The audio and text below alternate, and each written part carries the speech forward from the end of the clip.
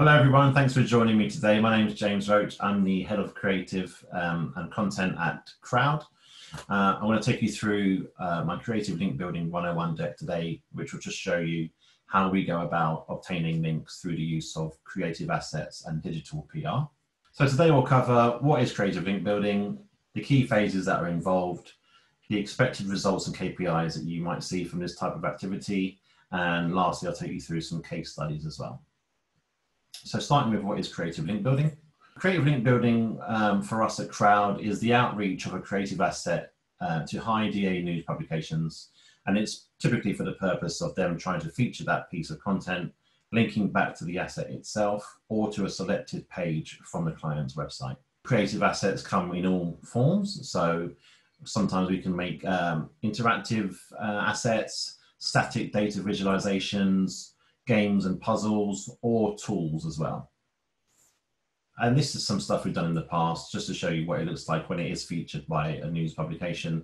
So this is a piece I did for Traveloka regarding the 50 cheapest Michelin meals, which was uh, including, included on Business Insider, uh, and a piece that was featured on Thrillist um, called America's Quietest Routes, which we did for a, a company called Geotab. So the key phases involved in this kind of work are um, it's usually five key phases involved. So we normally start with the ideation phase, which is the process of generating ideas uh, through brainstorming and through validation with working journalists. We've also got the research phase, um, which comes after the ideation, where we basically gather all the data that we need to produce the asset. Then there's obviously the design phase, which is uh, where we bring all the, the research and the data together and try and show that in a way that will um, be visually effective to the user. Um, and not always involved, but if we are making something that's interactive, then there will obviously be a development stage involved where we bring the design to life. Uh, and very importantly, at the end here is the PR and outreach, um, which is where we uh, essentially um, try and drive results for the asset that we've created by pushing it out to different news publications online. So I'll talk through each of these phases in a bit more detail, starting with ideation. Um, so when we look at ideation, we, obviously um, there are different types of ideas that work for this purpose. Uh, and when we're thinking about the ideas and ideating for ideas, um, two things that we try to keep in mind is um, everything we come up with needs to be newsworthy first of all. So we've got to remember that we're reaching out to journalists who work for news publications. So what we create has to have a newsworthy hook so that they will cover it. Um, but the idea also has to have some kind of brand relevance so that your brand um, is uh, in a position to be talking about this particular subject and it doesn't doesn't uh, seem alien to to people who see this.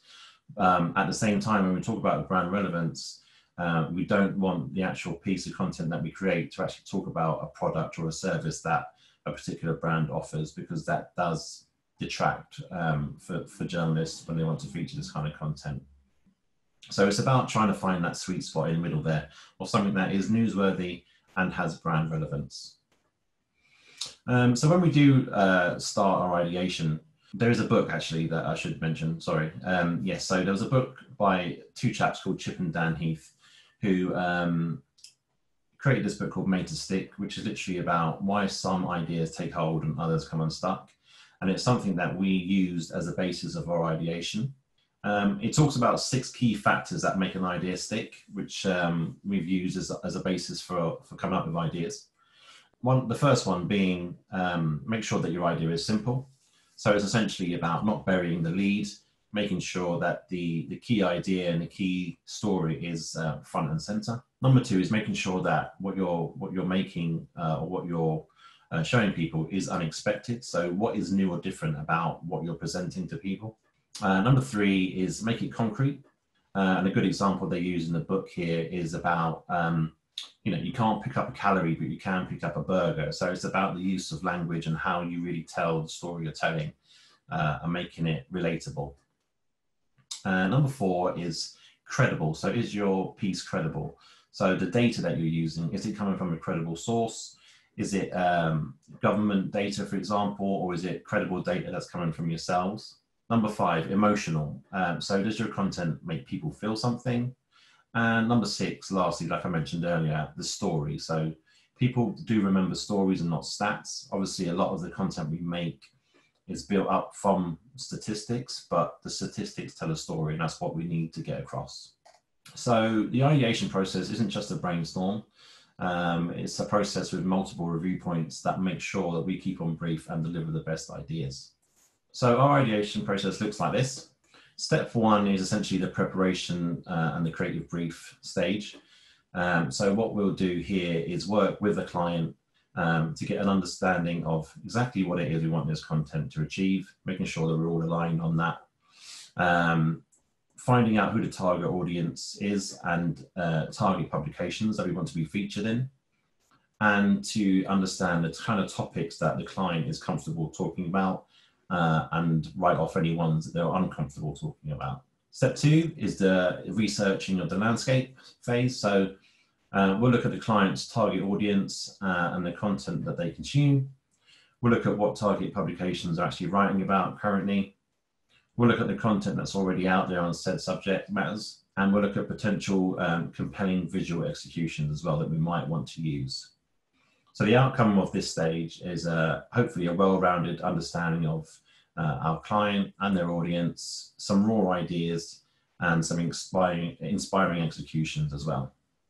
Step three is the refinement phase. So at this point, we'll start to flesh out any raw ideas that we do have, get initial validation from our team, and identify any non-ideas of the one, two, three meeting. So a one, two, three meeting is essentially where um, everyone involved in the ideation comes together and pitches their ideas that they have um, to the team, and we'll all grade those um, those ideas with a one, two, or a three.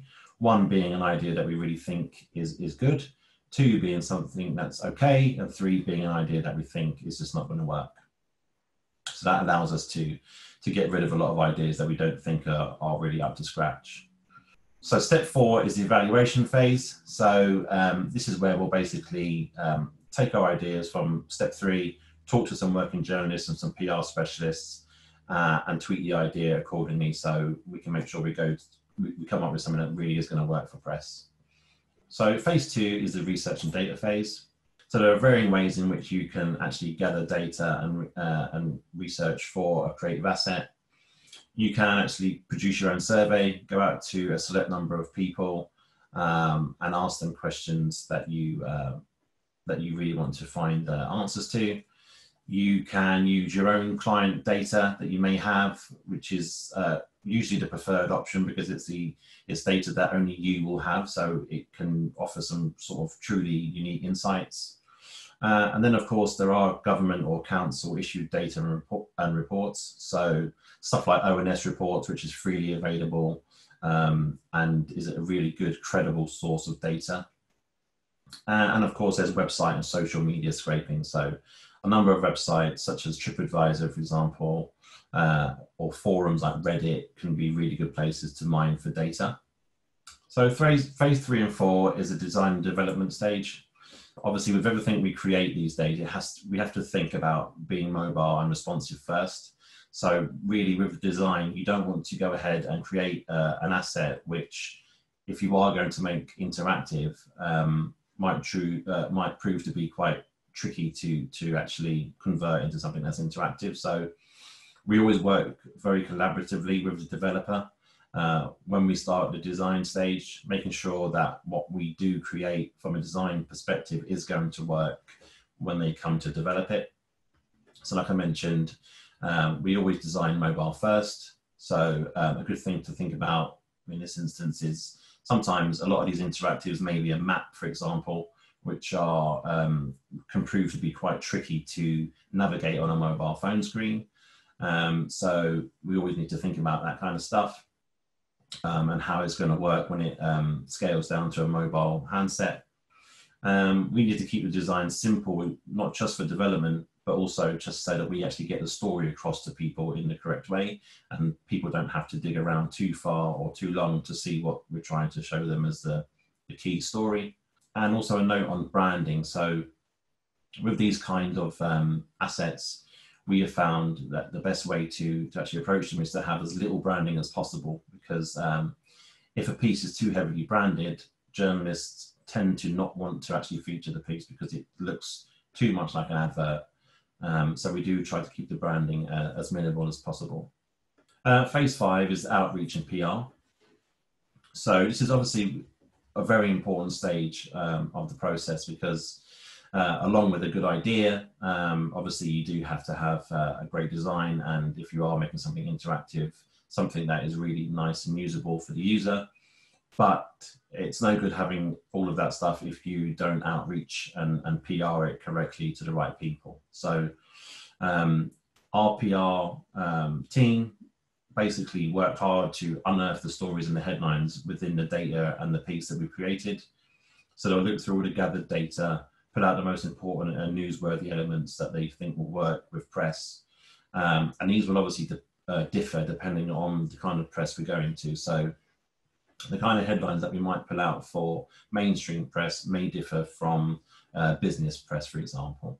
The PR team will also create prospect lists. So this is the case of literally going through and finding the, the relevant journalists um, and publications that we should reach out to with our asset. So we typically make a prospect list of around 200 to 300 working journalists uh, and we can use tools such as Gorkana to, to gather all their contact details so that we can reach out to them.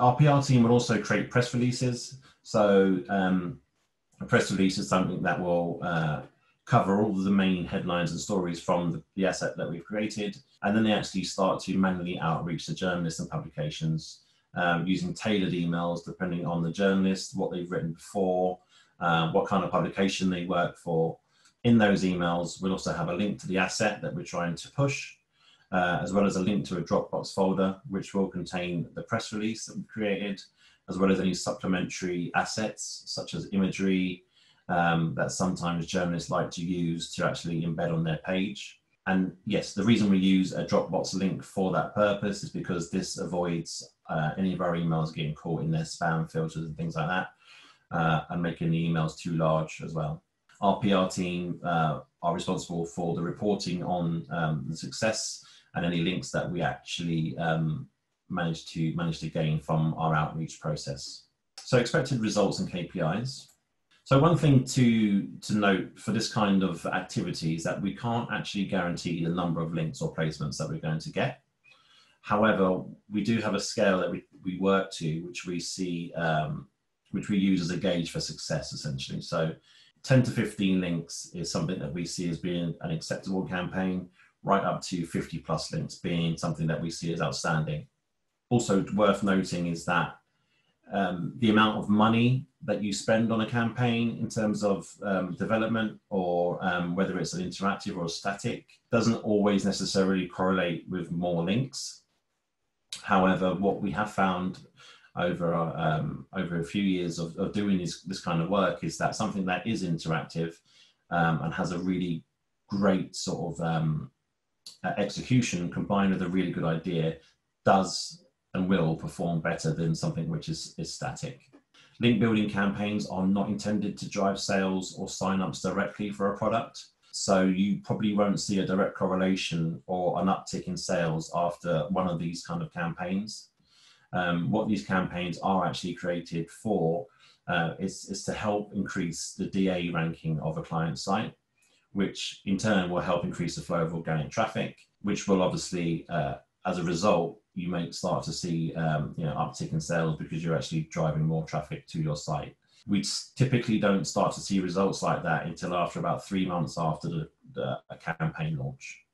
So moving on to some case studies this is a this is a campaign that I did for a company called Geotab, um, and something that I'm class as a, a large scale interactive. Um, Geotab are a company that we probably wouldn't know over here very well, but they are basically a fleet tracking company in Canada. So they basically make um, a, a, little black box that goes into a truck and will track the amounts, the, the, the mileage of a, of a truck uh, across its routes uh, across America when it's delivering goods. So we created a link building campaign for them around uh, America's quietest routes. And this was basically gathering um, readily available data on uh, traffic data for highways in America and what we did was we were able to uh, ascertain which were the, the, quietest routes in America. So we could find out the quietest highway in, in every single state of America, as well as obviously crown what the the, uh, the quietest route in the whole of the US was as well. So this gave us the opportunity to go out to uh, local press in every single state of America, as well as to national press as well in the US. And what we did as an extra layer on top of that was kind of romanticized it and coupled that data with the whole road trip of America that everyone um, is uh, familiar with. And so the final piece had some really beautiful imagery. We also um, signed up with the, signed up a, an, an, Instagram influencer to help with some imagery and to give a, a, top 10 list of some of the places that we featured, which are best for road trips um, and that kind of thing. So uh, we managed to get uh, an actual 220 referring domains when we launched this and went out to press. And over a year, we did seven campaigns for Geotab, which actually um, helped increase their DA from 44 right up to 51. Another piece we did uh, was for a company called Traveloka, and this is something that I would class as a, a small interactive. So this was a piece looking at the cheapest Michelin meals around the world. So using the Michelin, Michelin website, we were actually to uh, uh, able to scrape the data from there um, for uh, the actual cost of, of meals in Michelin star restaurants around the world. And literally what we did was just gather this data uh, and sort it in such a way so we could find out where the uh, the cheapest Michelin meals were actually uh, um, where they were actually around the world and from which restaurants. So we produced um, a small scale interactive. It didn't warrant anything too big because the data, what we were trying to show was quite simple. Uh, and it was literally a sortable table where we found out that literally the, the cheapest Michelin meal in the world was in Singapore and was $2.20. So, you know, immediately that gave us a hook to go to press with because, you know, uh, most people assume that Michelin meals and Michelin restaurants are something that isn't really open to, to everybody because they're so expensive. When we launched this, we managed to get over 120 linking root domains and we produced four pieces of content for this particular client over the space of a year, uh, which assisted in increasing the DA of their main site uh, by five. Uh, another case study we've got here is something again that I would class as a small scale interactive for, for Rightmove, which I'm sure most of us uh, are aware of. So this was something that we did um, just this year actually, and it managed to to get 20 referring domains. What we did was we got in touch with over 100 builders and trade traders over uh, in the UK, and found out how much it would cost on average to add an extension to your home, whether it be a small, medium, or a large one.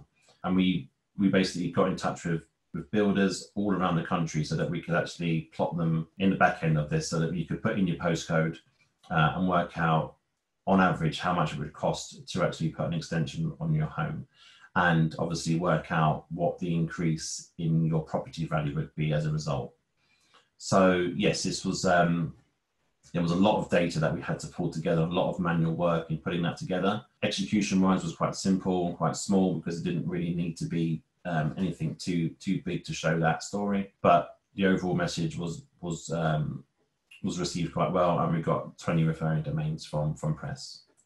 Uh, and lastly, we did a piece for Go Compare, which was called What Powers the World? And this was looking at different fuel sources that different countries around the world actually use.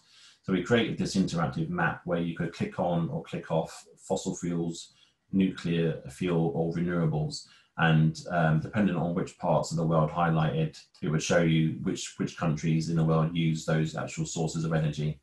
And this got over 50 referring domains, and something that we weren't expecting was that actually actually National Geographic actually uh, included it on their educational blog, which was um, something that we were quite proud of, to be fair, but and wasn't fully expecting at all. So that brings us to the end of the presentation. Hopefully, you found some useful information in there. My name is James Roach. I'm, like I said, mentioned earlier, I'm the head of content and creative at Croud. If you want to get in contact with me to discuss anything you've seen in here, um, you can get me on james.roach at croud.com. Thank you very much.